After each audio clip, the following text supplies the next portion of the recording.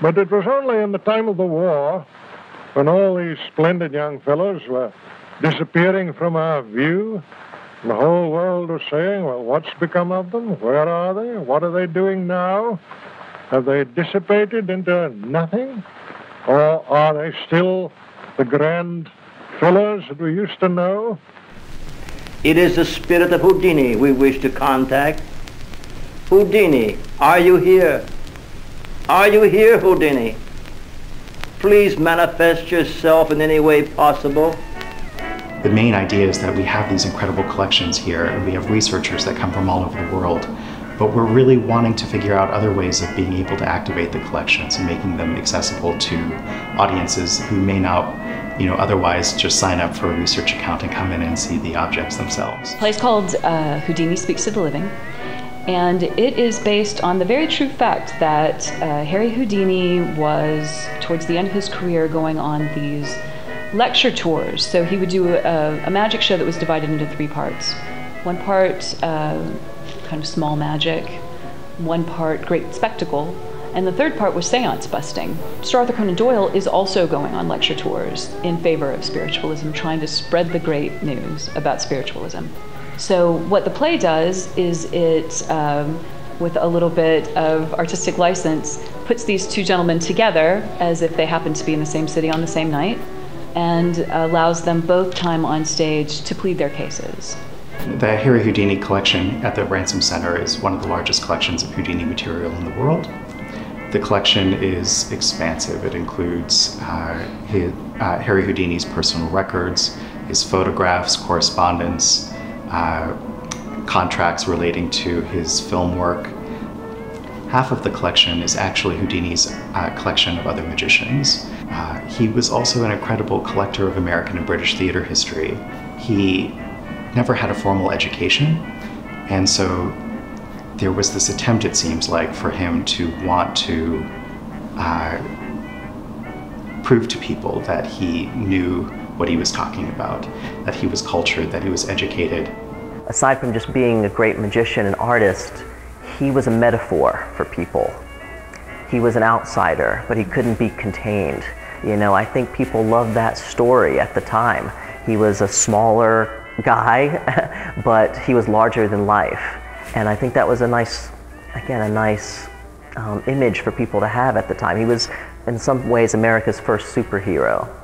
Houdini wanted desperately to believe in spiritualism, his, especially after his own mother died, uh, who he was very close to.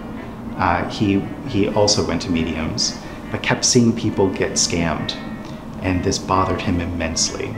Uh, so he made it a life's mission to debunk spiritualism. I think the most surprising thing that I learned about Houdini was how committed he was to saving people from being victims of false mediums. He didn't want anyone to feel deluded, especially knowing how fragile people were, specifically in this time. Sir Arthur Conan Doyle, another fascinating character, and such an incredible uh, walking dichotomy. A man who writes about Sherlock Holmes, uh, a, a, man who thrives on logic, um, and yet Sir Arthur, a, a complete and confirmed believer in spiritualism. One of the things that Beth shared with me and is part of the research that she sent me is that he was particularly um, convinced or dumbfounded by tricks that were mentalist tricks, tricks wherein the, the medium is able to deduce things about the audience members very quickly and seem as if they already know them or they're speaking through the spirit world about them. And it seems clear to me, though there's some decidedly inductive reasoning in me positing this, that everything that falls out is a quest to to find hope that and perhaps find his son in the afterlife. And so I think it's a it's a yearning that emerges from deep grief, uh, and he perhaps is too.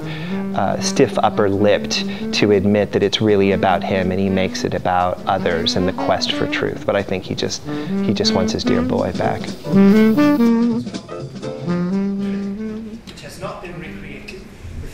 an explanation that goes beyond truth anything as well. My son. Bring me my son. No, your boast, sir, was that you could recreate. So often, I do not claim that I can produce or materialize legitimately the loved ones of you or anyone else, but I do claim and know that I can go to any seance along with you, and whatever happens there, I can reproduce exactly. Evan Powell, a simple coal miner, brought Kingsley to us at a seance. My wife exclaimed, It's Kingsley! And then I heard a voice. His voice. Father, I asked him if he was happy. So happy. And then I felt his touch upon my head. And he was gone. I challenge any man here to say that was a devil. If any man says so, it only shows the twist a man's mind may take. His vision was good and holy. His manifestation is your challenge. I know the seriousness of trifling with the hallowed reverence we bestow on the departed, and I do not wish to be guilty of such frivolity. Borders on crime to make you believe. I am not talking about what I believe. I am not talking about what I think. I am talking about what I know. A good magician is like sells you a ticket to a roller coaster, and you get on the ride and you go through all these loops and all these emotions and all these thrills, and then at the end you get off the roller coaster and you return to reality. You know, but magic represents a fun fantasy, but the opposite of that would be a medium. Uh, a fortune teller who sells you a ticket to the ride, but when you get on top, just pushes you off.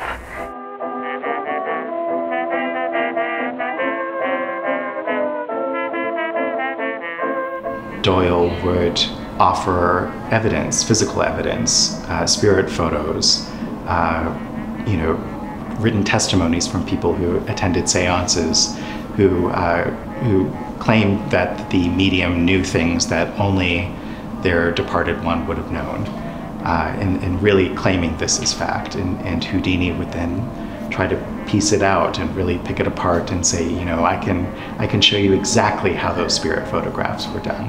Uh, you know, I can I can show you all the medium tricks and and how they work. Those debates play out at a time that speaks volumes actually about what's going on uh, in the West uh, during the late 19th and early 20th centuries. This anxiety of uh, technology and uh, you know, the, the sort of absence of religion that happens with, with the emergence of these wars and in industry. Uh, so to be able to uh, see that play out between the collections is, is fascinating. When Harry Houdini died, uh, he beforehand he had given both Bess Houdini and Arthur Conan Doyle a sort of a, a, code or a password or some sort of a message that only they would know and they weren't to share with anybody so that whoever would die first, and of course they didn't know, uh, whoever would die first, they would promise that they would try to come back and give this message to them so that they would know for, for a fact that spiritualism was real. Uh, and so when Houdini died, uh, Bess continued to have seances on an almost yearly basis uh, for several years after. Doyle continued, uh, he actually published a book shortly after Houdini's death that claimed him as, as one of the great spiritualists of, of the turn of the century. Uh, partly, perhaps even just to, if he could come back from the dead, just to make him angry and ensure that he would try. After faithfully following through the 10-year Houdini compact, using every type medium and seance, it is now my personal and positive belief that spirit communication in any form is impossible. I do not believe that ghosts or spirits exist. The Houdini shrine has burned for 10 years. I now reverently turn out the light. It is finished. Good night, Harry. Well, goodbye. I'm along.